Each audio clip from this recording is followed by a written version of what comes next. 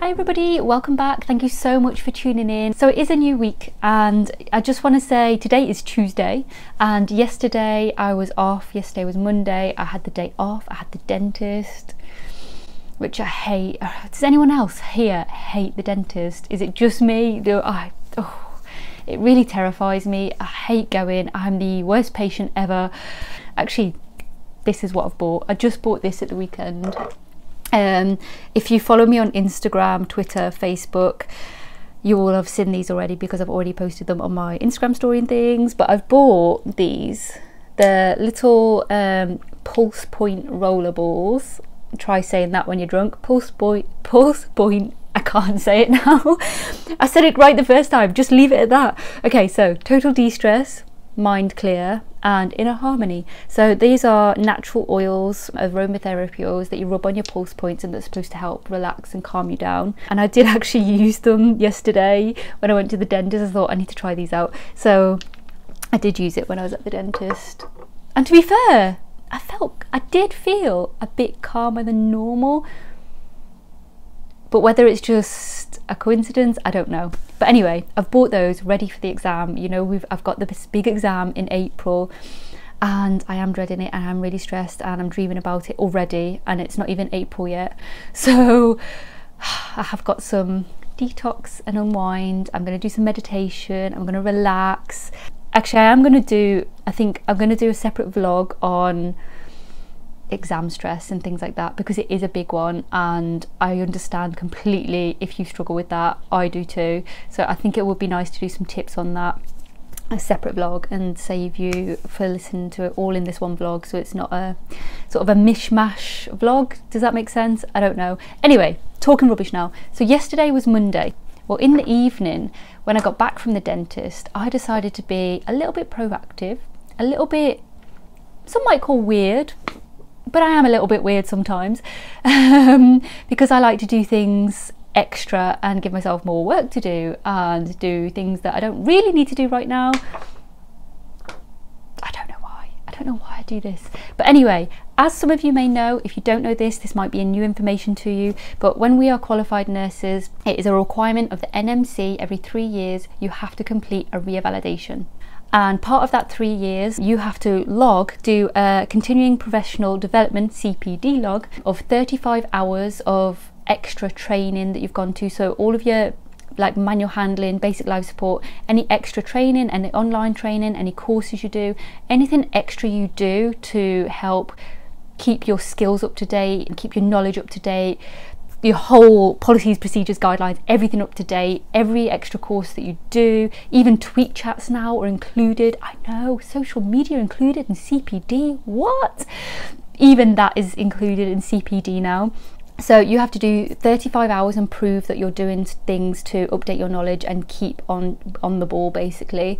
As well as that you have to write five reflections and you have to do so many hours, things like that. So last night I decided, even though I'm not a qualified nurse, I'm a student nurse, I thought I'm going to give CPD a go. And online, I'll put the link below, online there is an NMC template for you to do your CPD hours and keep a log. So I sat and I did that last night. I managed to do 41 hours on my log and that's not even including everything that I've done over the last three years. That's just literally whatever I could find and remember because this is the struggle. If you're not keeping track of what you're doing, what training you've attended, what dates, times, you know, you need specifics with everything. If you don't keep track of that, you're gonna find yourself going back through your calendar, your timetable to try and find what you've done, when you've done it, what it was, what it involved, what it relates to and that is something I'm reflecting on right now because it took me a couple of hours scrolling through my timetable and through my pro portfolio online. So I think going forward into the future, I'm going to keep a diary completely separate. Actually, I've got 101 notebooks in my cupboard that I don't use because I'm addicted to buying notebooks that have really nice quotes and things on. Because who doesn't do that? So I've got loads of them. And um, so now I'm going to use one and every single time I do something, I'm going to log it in this book. So when it comes to actually revalidating, I can just look and be like, there you go. I've got the date, I've got the time, I've got what I did, what it relates to. Boom, Bob's your uncle. Two seconds this is going to take. actually, that's not too bad. It's not as hard as I thought it would be. The only hard task is trying to remember everything that you've done and trying to put it onto a log. But I think if you keep on the ball with this in a notebook or something like that, it's going to be easy to revalidate every three years. I think. I thought if I if I get one now, so that when I start applying for jobs, it's going to go in my favour hopefully because I don't think many student nurses actually do this. I don't think people log all of the CPD and what they're doing. So if you are a student nurse out there, you're not doing this, download the template and start logging everything because when you come to that interview, take it with you and show that you're actively already doing it. And I think that's going to give you the brownie points. I think. Fingers crossed. That's what I'm thinking. So yeah, sorry, I've actually talked about that forever. I'm really sorry. I'm gonna try and cut that down because I've spoke for about 20 minutes, I think, just on that. So today we had policy and politics. I feel like I'm just rambling on each week, like I'm saying the same thing, policy and politics. But today it was all about short staffages, which is what I'm actually doing my assignment on, which is really good. And you know what? Actually, everything they were talking about today in the lecture, I was like, I've already got that in my assignment. I've got this in my assignment. I've got yes. So I think I'm hitting the money with my assignment, which is a really good sign. I did pick up two points from today's session that I thought, oh, maybe I should look into that and just link it into my assignment somewhere. So I've made a note of those links and I'm going to have a look. But so far, so good. Tomorrow is Wednesdays is always an all day session for us, so it's 9 till 5 physiology come on Betty, I'm ready for you. As you heard last week, Betty was being troublesome and no doubt she's going to be troublesome tomorrow for us. So um, I'm looking forward to learning a bit more about Betty and her condition and how to manage her condition and how we can save Betty's life. So yeah, so to, I'm looking forward tomorrow. I love the physiology sessions, even if I don't understand it, I really, really love the physiology and it's really good to build your knowledge. So we'll see what tomorrow brings. That's it from me for now and I shall see you tomorrow. So today's Thursday. Yesterday we had lectures 9 till 5 all day, physiology, our Betty. It was the last of, last of the sessions of Betty and tomorrow we actually move on to our new case study. So yesterday was a really long day. By the time I got home, by the time I ate, I was exhausted and I fell asleep.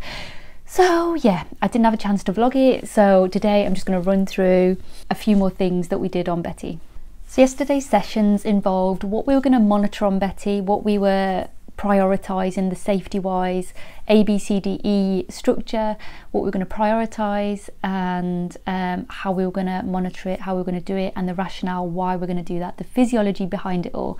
And then we went into the interventions as well. So, okay, so we know what's wrong with Betty. We don't want it to get worse. What are we going to do about it? So, what we were going to give Betty, IV, wise, um, cannulas, catheters, all of that jazz, ECGs. So we had to rationalize those interventions as well, explain exactly why we were doing it. And then to round the day off after all of that, after the monitoring, after the interventions, we went into discharging. So we're going to discharge Betty because she appears fine. And what we want to make sure is, is she fine to be discharged?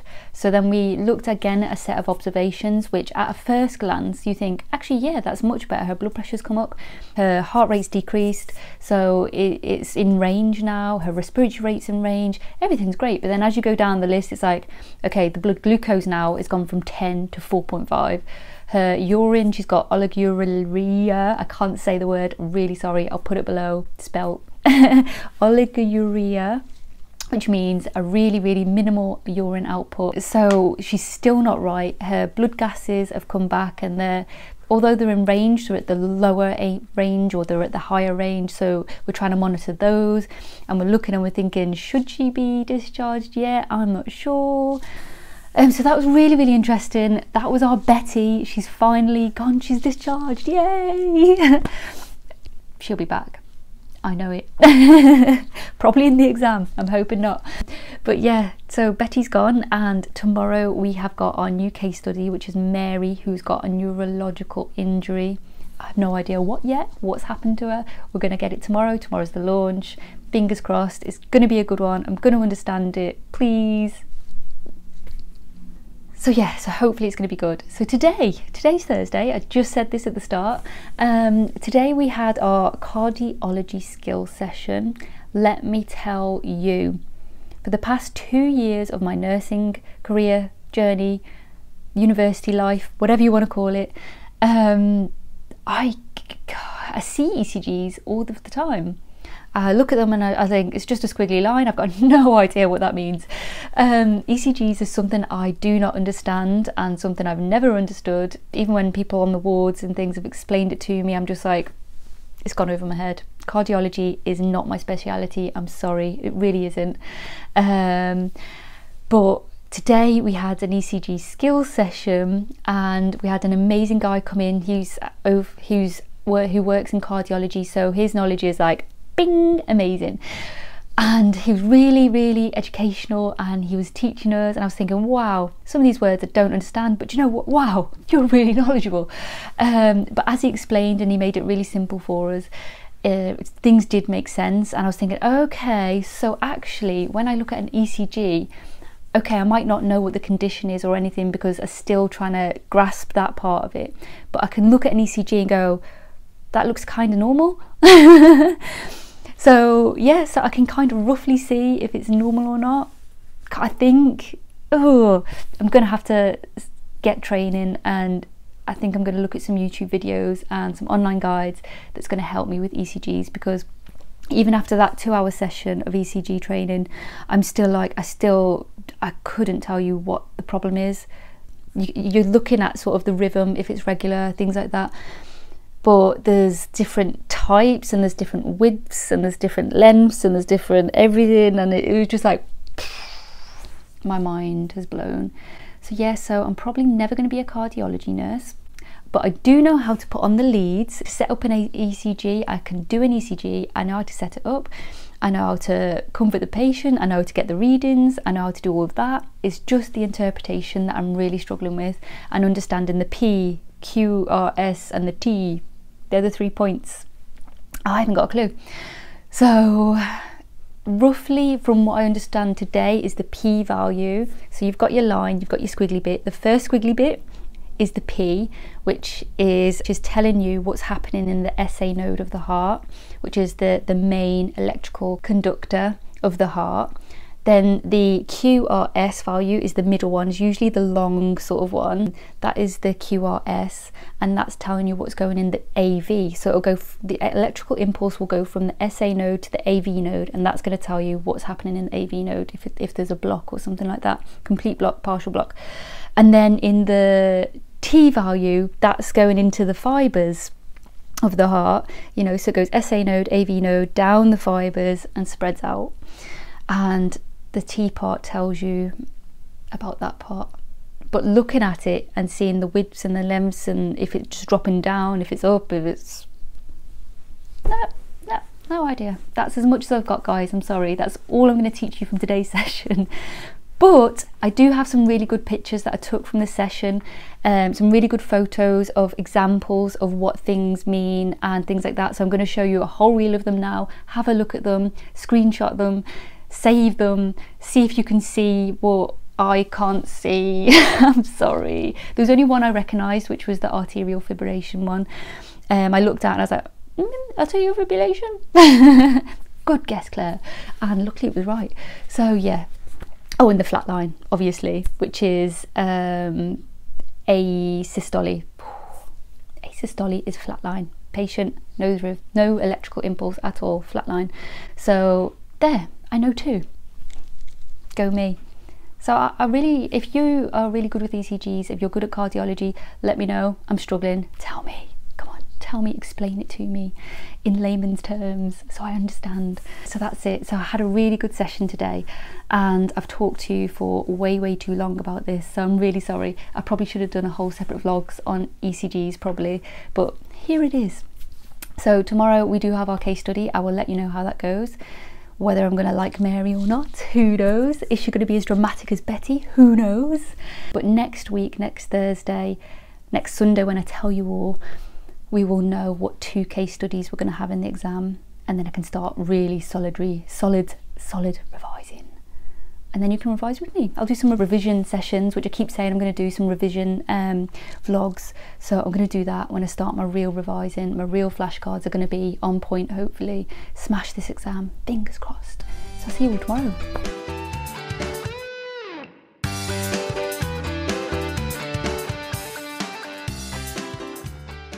So today is Saturday. Yesterday we had our launch of our new case study and let me tell you, remember when at the start when I was struggling with Phil and I said I wanted anybody but Phil? Give me Phil. Do you know what? Give me Phil. Oh my God, this case study. Ah, oh, it was a two hour lecture. Our case study is Mary. She's got a subdural hematoma and, or hematoma, and, uh, which I understand. I understand what that is.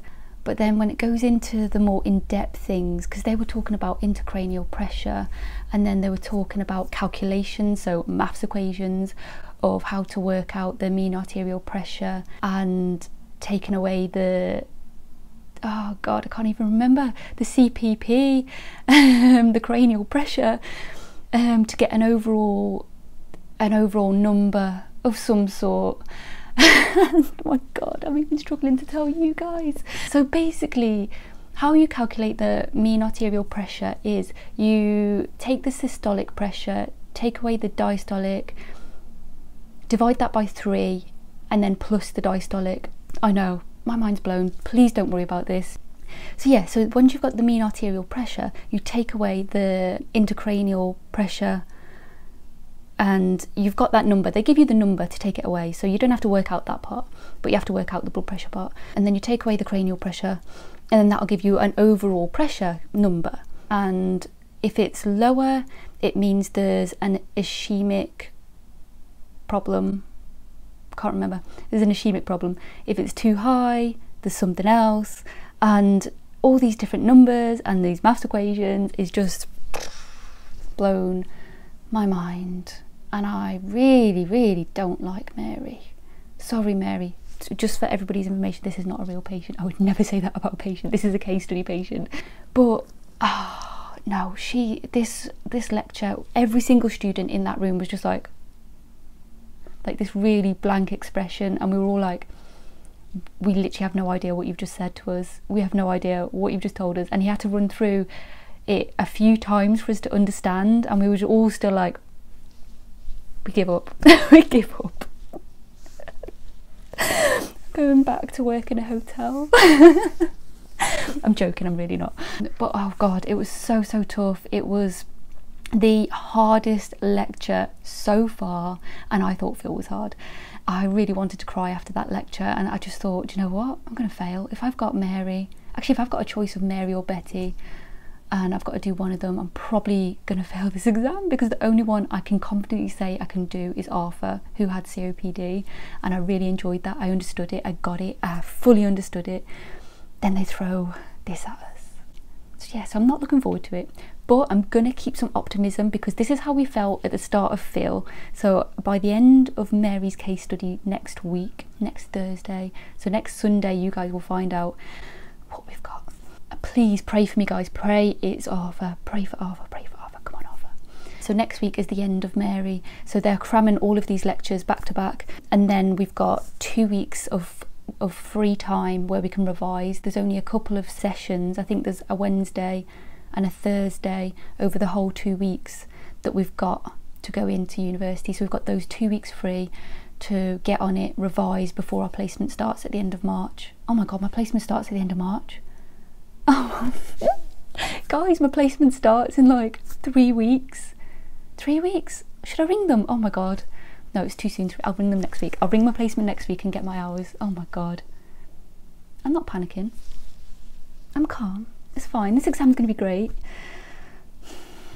But yeah, so overall, I can't even explain to you what that lecture was. I'm really sorry because I still don't understand it. I'm going to have to revisit the PowerPoints. I'm going to do a lot of Google, a lot of Khan Academy to work out what I've just been told. I'm really scared for this exam now. I was feeling confident, now I'm scared. I'm praying that one of the choices is Arthur and I'm praying the lecturers are going to be kind to me. Well, us.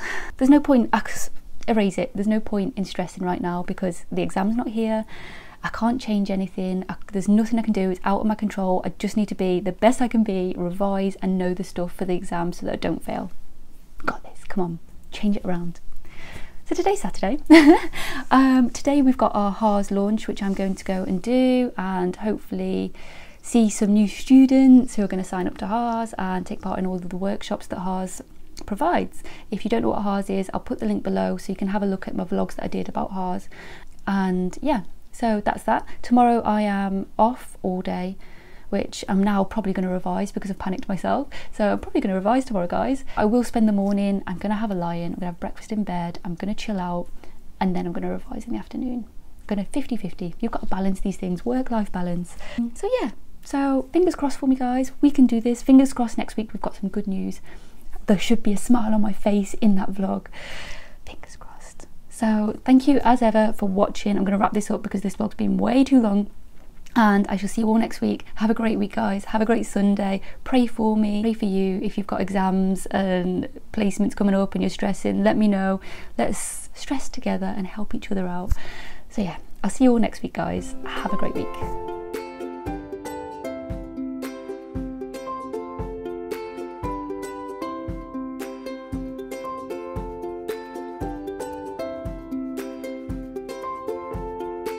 Shutterstock Music.